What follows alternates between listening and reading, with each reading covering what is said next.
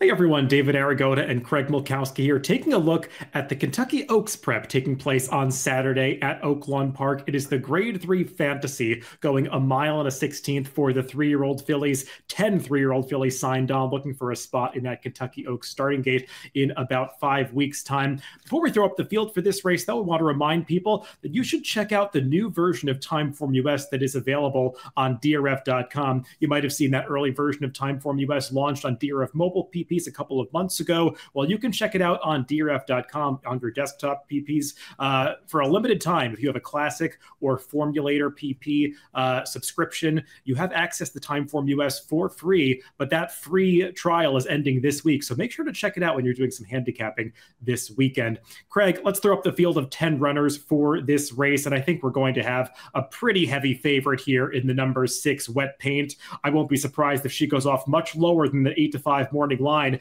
because she's going out for a powerful staple, Brad Cox, and she comes in off two straight stakes victories. Yeah, I would agree. Uh, when I first saw a big field of 10, I, I, was kind of hoping maybe we would see a more contentious field. I'm not sure we got that, but I don't think it's a walkover by any means. I, I do think there are a couple talented fillies in here as well, in addition to Wet Paint.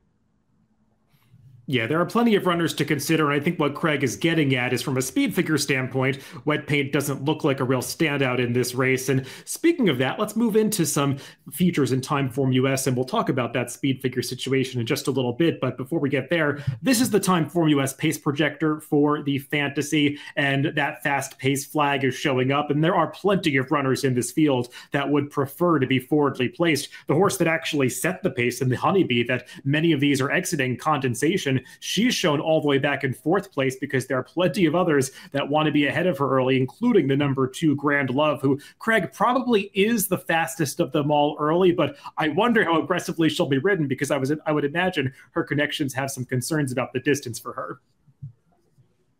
Yeah, I never know what to make of that because to me it seems like going slower doesn't really help these speed horses. If they're going to get the distance, they should go to the front because that normally, probably nine times out of 10, is going to give them their best chance. Uh, you know, sometimes we see situations where maybe they want points to make the Oak starting gate and they'll ride a little more conservative, but there's enough speed in here I'm pretty confident that that face fast pace flag is accurate and that we're going to get some pace in here, and that is going to help the favorite wet paint. Yeah, that would suit wet paint just fine. You see, she does have that late pace flag attached to her on the pace projector, and we'll transition right into the Timeform US finish projector, one of those new features in Timeform US, which has just launched. And uh, wet paint, Craig, not shown as the winner on this finish projector, though you see that late pace flag did carry her all the way up into third place. And I think the reason that the Timeform US algorithm is not selecting her here, and it's close. I mean, these three are basically on the wire together, but the reason that she's not being selected is her pace uh, her speed figures are just not really the best in the field. I mean they make her one of the contenders but not some sort of standout as it as the race is likely to get bet No, and I would agree. Her speed figures are good. I think we're going to talk about the context of some of those speed figures coming up. But I also think it's always a little dangerous taking a horse who's pretty much proven to be a deep closer in a dirt route. Uh, she's also won both times uh, recently on wet tracks. Matter of fact, I think all three of her wins have come on wet tracks. Uh, not sure if we're going to get one of those on Saturday. So that's yet another question mark for her.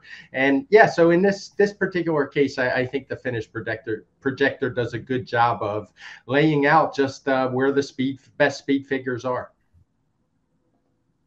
Well, let's move on to the contenders in this fantasy, and we'll begin with previewing or reviewing, I should say, the Honeybee, which is a race that seven of the 10 horses are exiting, coming back in this fantasy from the Honeybee. And of course, the winner of that race was Wet Paint, winning her second stakes victory in a row. You also see Condensation, who ultimately finishes second, and Grand Love highlighted in this replay. But Wet Paint is the one that uh, was pretty wet at this point in the race, getting all that sloppy kickback in her face, and she comes on between horses to get the victory here, really pulling away at the end. You see, she takes a little bit of a bump from condensation right uh, approaching the finish there, but she really lengthens her stride in that final 16th of a mile to put that field away. And Craig, that finishing power, I think, is what gets people really excited about her, especially when the distances eventually stretch out to a mile and an eighth in a race like the Kentucky Oaks. I guess one of the questions you have to answer with wet paint is is she just a wet track horse? Because she's won each of these last two stakes wins in the Martha Washington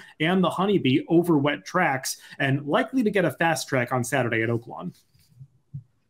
Right, and as I mentioned, she even broke her maiden over a sloppy track. So it's definitely a question mark. It's kind of rare for a deep closer like her to have this kind of success over an off track. I do like how she finishes her races. We we talked about the honeybee on the Timeform US Pace Cast, and I kind of said then I wasn't putting a whole lot of stock in the speed figure. She's a filly who's going to kind of get her number shaped by the way the race sets up. She's just going to sit back, make her late run. So I really have no knocks on her. The the one issue is that 105 is not all that towering over the rest of this field. So I don't think it's the layover that many some some others might, uh, the walkover, I should say. I do think there's some competition in here, but I do expect Wet Paint to run a big race.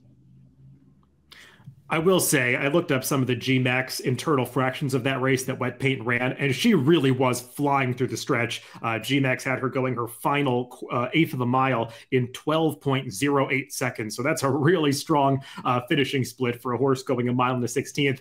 Craig, I think if you want somebody out of the Honeybee, it probably is Wet Paint. She was just that dominant in victory. We will take a look at the PPs of some others coming out of that race, though, including the runner up, the number 10, Condensation you might remember, Craig, this is a horse that I had some interest in going into the Honeybee. She went off at a big price, 21 to 1. And I thought that we saw her maximum that day. She got a very good trip, aggressively ridden to the lead, was able to set an honest pace, and just got a little bit tired at the end. Watching that race, I didn't really feel like she was in the same league as Wet Paint and now drawn outside with so much other speed signed on. I'm not sure I want her in this spot. I think we're on the same page. I thought she ran fine. She probably ran about as good a race as she's capable of, and she was clearly second best. I mean, she was best of the rest. It, it wasn't all that particularly close. Uh, she was able to hold on second, but she had everything go her way that day. She draws a tougher post, so we're in the same camp on this one. She's not a win contender for me. The third place finisher in that honeybee was Grand Love, and she's the one that's shown leading on that pace projector, but they chose not to go to the lead last time as they rated off that pace set by condensation. And Craig, I thought she stayed on better that day than she has in her prior two turn effort. So maybe that's a, a positive sign that she's finally maturing and moving forward because she certainly is a horse that's bred to go two turns. And I guess that's why her connections have uh, continued on in these two turn dirt routes. I just wanted to see a little bit more development from her uh, in her first start as a three year old. She just kind of ran the same speed figure that she's been running uh, for the entirety of her career. Actually, her best number came in that career debut sprinting at Saratoga. So I just don't see the progression here, uh, but she is a horse that has some talent she has talent. I just personally wonder if that talent won't be better displayed in one turn races like we saw when she broke her maiden at Saratoga with her career best speed figure. It's not a good sign when a three year old filly hasn't improved on that number. As you said, she's done been two turns in all three subsequent starts. So I tend to think, uh, particularly when I see how she loses ground in the last furlong every single time in her route races, that she's just more of a sprinter, and she's not for me on the, the top end either. The fifth place finisher in the Honeybee was Towhead. We'll actually take a look at her victory two back, the race that she ran coming into the Honeybee, when she was a pretty dominant winner of an allowance race, going this mile and a 16th distance. Now, Craig, she didn't quite run back to this effort in the Honeybee. She regressed a little bit over the sloppy track. And I think it's also worth noting this was her only start on Lasix, and it was by far the best effort of her career. So maybe she's a horse that just had, uh, you know, the circumstances in her favor that day day, getting the Lasix on. And I don't know if I can expect her to run back to that effort this time. Yeah, it's a tough call for me. You could look at it one of two ways. You could say she just didn't like the sloppy track last time, but watching the race, I, am not so sure. Even though she was tucked in behind horses, she seemed like she was handling it fine. She got clear in the stretch, had chance to make a run, and just couldn't go with wet wet paint at all. That one just blew by her, left her in her wake. So um, I think she's probably going to run better on the fast track. The Lasix, as you said, is a question though, so she's more of an iffy type horse for me.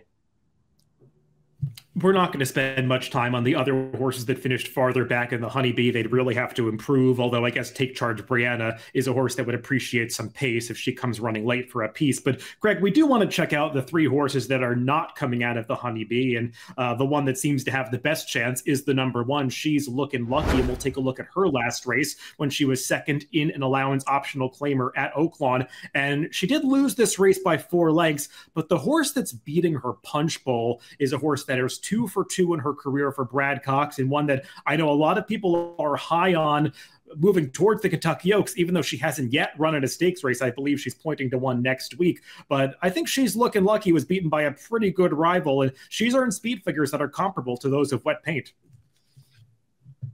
Yeah, for sure. I, I, think if Punch Bowl was in this race, she'd probably be vying for favoritism with Wet Paint. It, it, would be pretty close, in my opinion. She's run some nice speed figures. We can see she's looking at Lucky was beaten over four lengths and still got a 103, which is right there with West Wet Paint's best effort. So this is one I think has a real shot. She's moving in the right direction, particularly since since she changed barns. Something seems to have clicked as she turned three. She's run those big speed figures, and from that inside draw. She's one who can be on the pace, can come from a little off of it. She almost feels like she has to get a good trip from in there. Yeah, she's really come to hand since that trainer switch to Matt Shirer, and she was very impressive breaking her maiden at Fairgrounds two back and proved that that improvement was uh, no fluke last time in that runner-up performance. To her outside is the number eight Royal Spa. We'll take a look at her most recent start when she won an allowance race, just going six furlongs. So she'll be stretching back out to the two turns here. She did try two turns once prior, Craig, in that Demoiselle over a sloppy track at Aqueduct last year. I think that was just a little bit too much for her to handle in the second start of her career. She got back on track here, but I wasn't thrilled with the field she was beating, and I do have some doubts about her overall quality.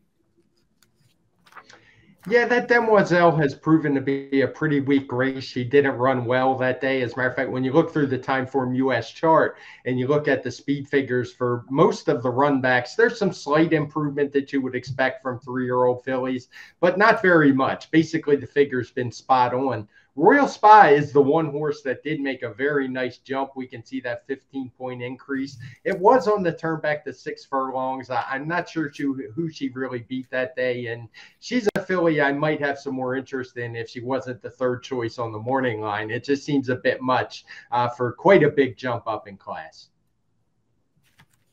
And then the one more horse we'll talk about that's not coming out of the honeybee is the number seven. Uh, I don't know if her name is Pate or Pate. I'll go with Pate. Uh, she is making her first start off a trainer switch to Mike Maker, but this was her prior start going out for the uh, Clinton Stewart barn. And I thought that she ran pretty well this day, uh, just missing to Classy Bridget, who's been in very good form, I believe, for trainer Chris Hartman. Uh, you could see she just gets turned away at the very end of this race. Craig, the big question with her is going to be distance because she's never gone beyond six furlongs.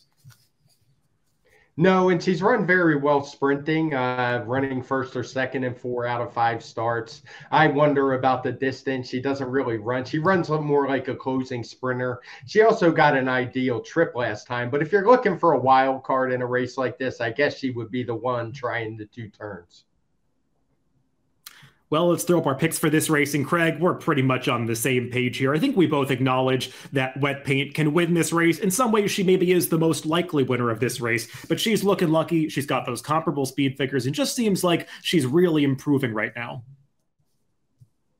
Yeah, she's. I'm hoping she can work out a trip from the inside. I think she's just as talented as a favorite, and she should get a head start on her from that inside post. She has better tactical speed, and I, I always like that at Oaklawn, and I think the fast track's going to help as well. So uh, I, w- I would give a slight nod to she's looking lucky.